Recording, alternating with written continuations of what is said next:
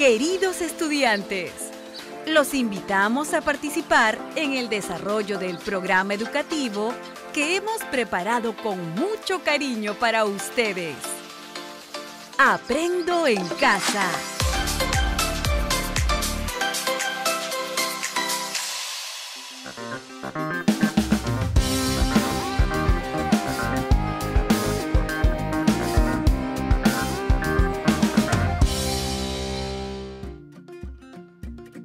Buenas tardes, niñas y niños de primer y segundo grado de educación primaria.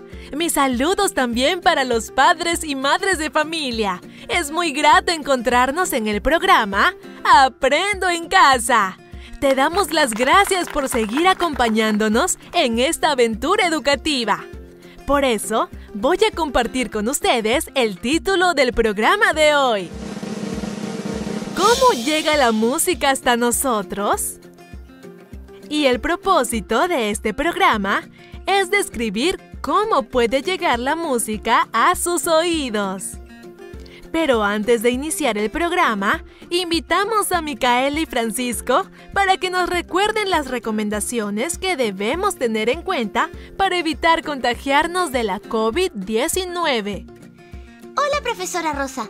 Hola, amigas y amigos de todo el Perú. Francisco y yo compartiremos con ustedes las recomendaciones para evitar contagiarnos del COVID-19. Y estas son, lavarse las manos frecuentemente con agua y jabón durante 20 segundos como mínimo. Evitar tocarse los ojos, la nariz y la boca si las manos no están limpias. También es importante evitar el saludo de mano o beso en la mejilla. Tampoco den abrazos. Usar mascarilla mantener una distancia de 2 metros de las personas que no viven con ustedes. Gracias, Micael y Francisco, por recordarnos qué debemos hacer para protegernos de la COVID-19. Ahora voy a compartir con las niñas y niños que nos están escuchando las actividades que realizaremos en el programa de hoy. Primero, analizarán una situación. Después, se problematizarán y plantearán una posible explicación. Luego, buscarán y analizarán información a través del diálogo con sus familiares y el uso de fuentes de consulta para comprobar su posible explicación. Finalmente, contrastarán su posible explicación con la información obtenida y elaborarán sus conclusiones. Profesora Rosa, creo que para poder realizar las actividades es necesario que tenga mi cuaderno de apuntes, lápiz, borrador, tajador u otros materiales como colores o plumones. Claro que sí, Francisco. De igual manera, no olviden que todas las evidencias que recojan a partir de las actividades que realicen deben organizarlas en su portafolio para que lo puedan presentar a su profesora o profesor cuando se lo solicite. Y como producto de este programa, ustedes colocarán en su portafolio una descripción sobre cómo la música llega a sus oídos a través del aire y de una cuerda acompañándola de dibujos de las experiencias realizadas. Está bien, profesora Rosa. ¿Puedo invitar a mamá, a papá, hermana, hermano o un familiar para que me acompañe mientras aprendo sobre la ciencia y la tecnología? Por supuesto, Micaela. Toda la familia puede participar. ¡Qué alegría, profesora Rosa! Hoy me acompañará mi hermana Margarita, porque mi mamá y mi papá irán a comprar unas semillas que necesitan. Me parece bien, Micaela.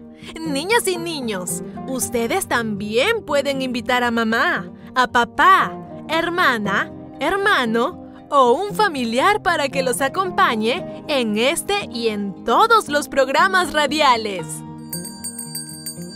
Amigas y amigos, les recordamos que esta es una iniciativa del Ministerio de Educación para estudiantes de primer y segundo grado de educación primaria Niñas y niños, iniciaremos nuestro programa presentándoles la siguiente situación que se dio al día siguiente de la conversación entre el abuelito Don Pepito y sus nietos. Escuchen con mucha atención. Abuelito Pepito, le conté a mi mamá de lo que estás haciendo para celebrar el cumpleaños del Perú y me dijo que también podrías poner esta canción. ¿Y qué canción es, hijita? Se llama algo como... como... Ay, no recuerdo. Creo que era algo como... un cóndor. ¿Qué te parece si la escuchamos? Sí, abuelito. A ver, vamos a ver cómo se coloca esto. Ya está, hijita. Vamos a escuchar. Estaba cerca de la radiograbadora, así como nosotros. Él estaba en la chacra. ¿Verdad, no? Sí, abuelito. ¿Cómo llegué a escuchar la música si yo estaba tan lejos? Hijitos, ¿qué les parece si lo averiguamos? Sí, abuelito. Le escribiré un mensaje a una amiga que es profesora para que nos ayude. ¿Les parece? Sí, abuelito.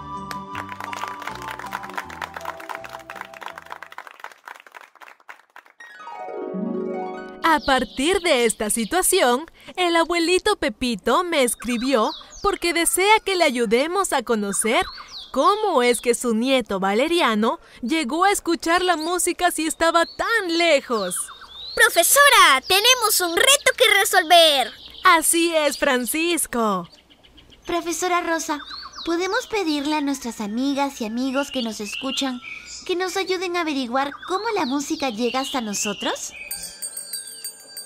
Claro que sí, Micaela. Y para ello, tenemos que plantearles la pregunta a indagar. La pregunta investigable sería, ¿cómo llega la música a nosotros?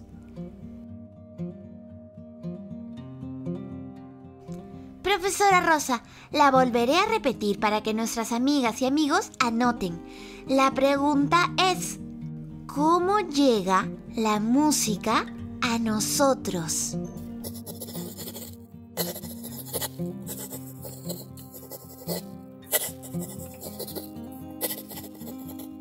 Gracias, Micaela. Niñas y niños, ahora que ya tienen la pregunta anotada, van a elaborar una respuesta para esta pregunta. Para hacerlo, empezarán pensando en aquellas cosas que vienen a su cabeza cuando les preguntan ¿Cómo la música llega hasta sus oídos? ¿Cómo creen ustedes que la música llega hasta ustedes? Respondan. ¿Pensaron en algo? Si aún no tienen ideas, no se preocupen. Pueden dialogar con su familiar y así tener ideas sobre cómo es que la música llega hasta ustedes. Empiecen a dialogar.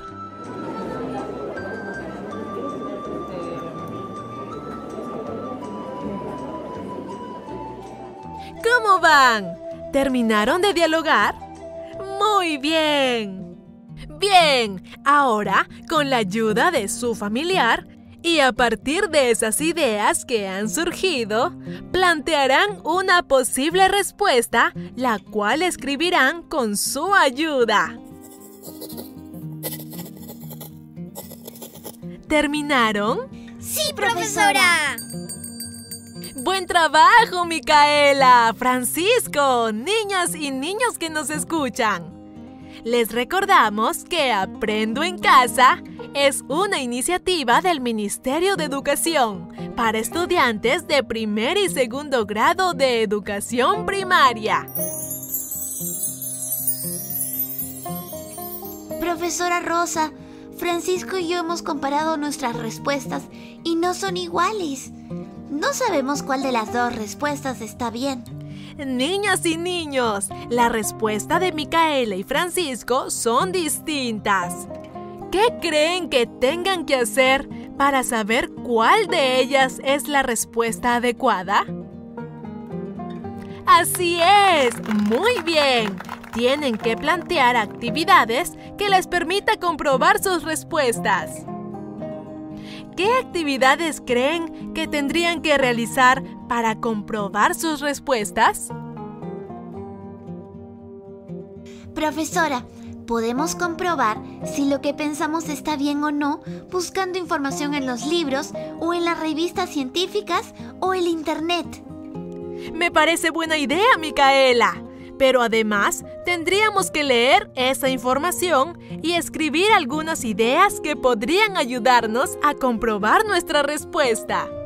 Pero profesora, en estos momentos no podemos salir a buscar ni libros ni revistas porque tenemos que cuidarnos de la COVID-19. Así es, Francisco. Ni ustedes, ni las niñas y niños que nos escuchan deben estar saliendo porque aún seguimos en pandemia por la COVID-19 y el riesgo a contagiarnos y enfermarnos aún está presente. Por eso, en este momento, les brindaré la información que necesitan a través de una lectura. La información que se les brinda les puede servir para comprobar su respuesta. Escuchemos con atención. ¿Cómo llega la música a nosotros? La música es la combinación de un conjunto de sonidos de la voz humana o de los instrumentos musicales. Cuando escuchamos música, estos sonidos que la conforman llegan hasta nuestros oídos a través del aire. Así es, el sonido puede viajar a través del aire. No lo puedes ver, pero sí oír. Pero el aire no es el único medio que permite viajar a los sonidos de un lugar a otro. Los sonidos pueden viajar a través del agua y de objetos, como el suelo, los rieles del tren, el pabilo o pita y otros más. En algunos de estos medios, el sonido viaja más rápido que en otros. Por ejemplo, en los rieles del tren, el sonido viaja más rápido que en el agua o el aire. Por eso, antiguamente, las personas para saber si venía el tren, pegaban su oído a los rieles del tren y aunque no podían verlo ni oír su campana, porque se encontraba aún muy lejos, podían escuchar el sonido que causaban sus ruedas. El medio en que el sonido viaja más lento es el aire pero aún así, lo seguimos escuchando a través de nuestros oídos. Muy interesante lo que nos acaba de decir, profesora Rosa. Claro que sí, Micaela. Conocer sobre por qué o cómo suceden algunas cosas es muy interesante.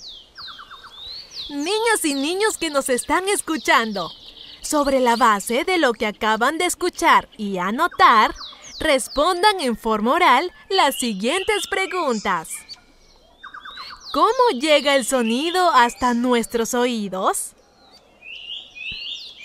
¿Por qué medio viaja más rápido el sonido? ¿Por el aire? ¿Por el riel del tren? ¿O por el agua? Cuando escuchan una canción por la radio, ¿Qué medio estará usando el sonido para llegar a ustedes? ¿El aire o el agua? Las ballenas son animales marinos que pueden comunicarse entre sí a través de diversos sonidos que hacen. ¿Qué medio estarán usando para que sus sonidos lleguen a otras ballenas? ¿El aire o el agua? ¿Terminaron? Muy bien. Ya casi, profesora Rosa. Un ratito, por favor. Ya, profesora. Ya terminamos. Muy bien. Ahora vamos a dejar a un lado las anotaciones que hemos hecho y realizaremos una experiencia que nos permita comprender de mejor manera por qué medio viaja más rápido el sonido. Para ello, van a poner sobre su mesa de trabajo los siguientes materiales. Dos vasos descartables o latas de leche vacías. Si usan latas, estas ya no deberían tener una de sus tapas. 3 metros de pabilo. Una tijera. Les daré un tiempo para que vayan a buscar sus materiales. Profesora Rosa, ya tengo mis materiales listos. Muy bien, Francisco. Niñas y niños, ¿tienen sus materiales listos? ¿Sí? Entonces, vamos a empezar a construir un teléfono casero. Primero, pídanle a su familiar que le haga huequitos al centro de la base de los dos vasos descartables o latas de leche. Deben ser huecos pequeños que solo permita pasar el pabilo. Segundo, pasen uno de los extremos del pabilo por ese huequito del vaso o lata de leche y hagan un nudo. Harán lo mismo con el otro extremo del pabilo y con el otro vaso o lata de leche. Les daré un tiempo para que lo armen. Inicien.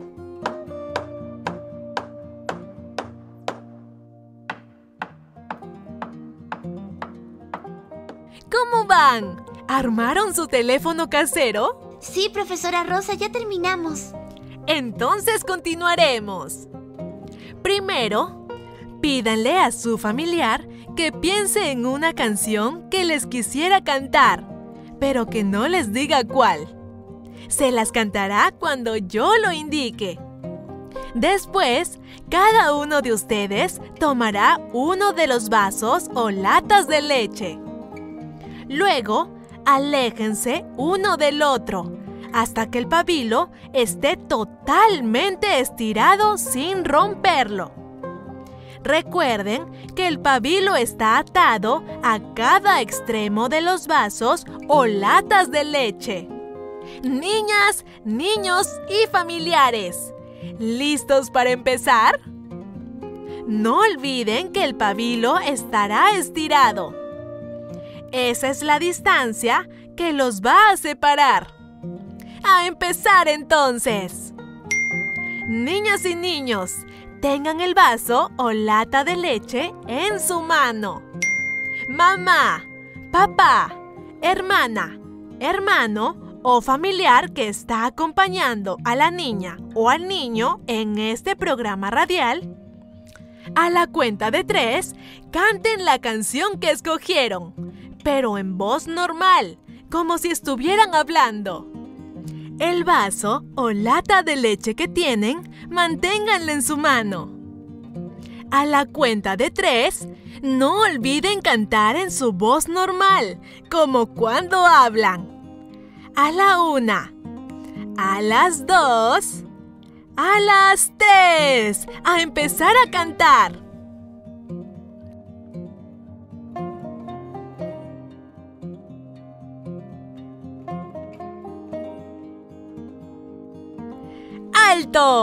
Bien, niñas y niños, reflexionen con su familiar sobre lo que ha sucedido a partir de las siguientes preguntas. ¿Escucharon bien lo que cantaron sus familiares? ¿Pudieron entender toda la canción? ¿Por qué creen que la habrán escuchado así?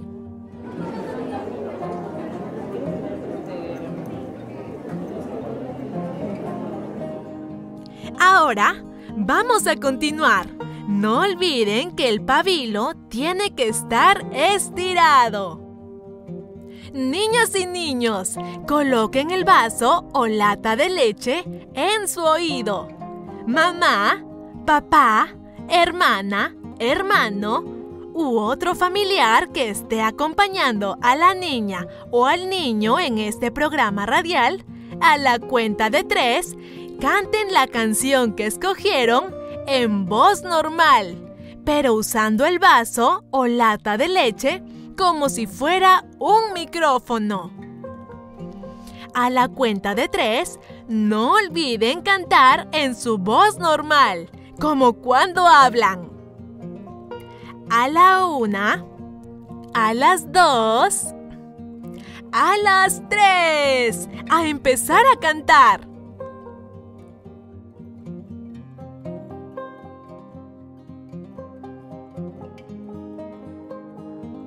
Niñas y niños, reflexionen con su familiar sobre lo que ha pasado a partir de las siguientes preguntas. ¿Escucharon bien lo que cantaron sus familiares? ¿Pudieron entender toda la canción? ¿Por qué creen que la habrán escuchado así?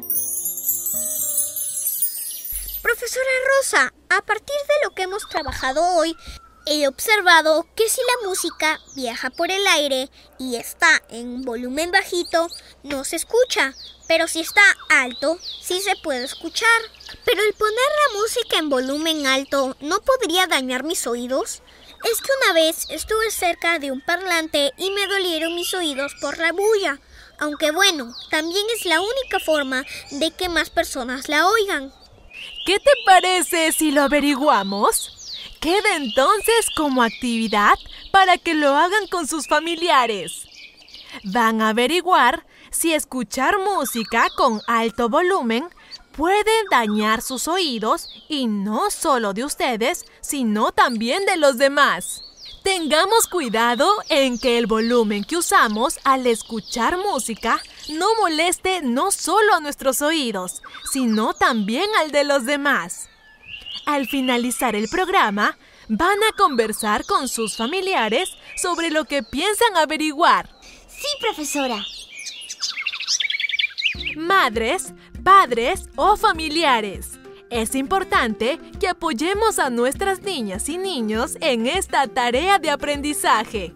Por ello, será necesario que dialoguen con ellas y ellos sobre las actividades que han realizado hoy y de otras que puedan darse a partir de lo que hacen.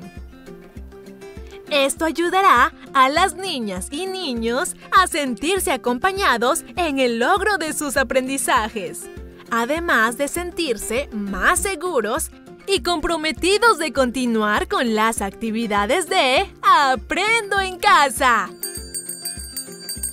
Aprovechamos también este encuentro para dirigirnos a nuestros colegas docentes para que se comuniquen con las familias y por medio de ellas con sus estudiantes, para acompañarles en las actividades que realizarán. También será necesario que puedan orientarlos en la evidencia que tendrán que producir considerando la realidad de los estudiantes y de lo que y cómo pueden hacer por ejemplo, en la forma de desarrollar la descripción requerida, la cual puede ser oral, escrita o gráfica. Y muchas gracias por seguir apoyando esta tarea. Gracias niñas, niños y familia. Nos encontraremos la próxima semana en el siguiente programa radial. Hasta, pronto. Cuídense. Chao.